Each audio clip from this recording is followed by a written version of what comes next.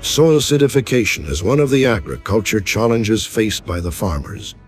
From emission gases to the Earth's atmosphere from all sources, including burning of fossil fuels, factories, vehicles, and the rise of Earth temperature accelerate the formation of acid rain.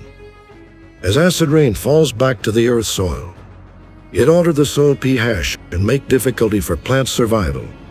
Secondly, the action of excessive use of fertilizer and, and improper agricultural management accelerate the process of soil acidification. Unfavorable soil environment lower the survival rate of plant crops, and the production of crops yields decelerate over times. This has alarmed the world on food security. To sustain continuous food subpile, in now and future, we need to practice sustainability, in mind and in action. Greenfeed Slow Release Fertilizer, an agricultural tool that contains 17 essential nutrients and trace element, works as a soil conditioner and soil optimizer.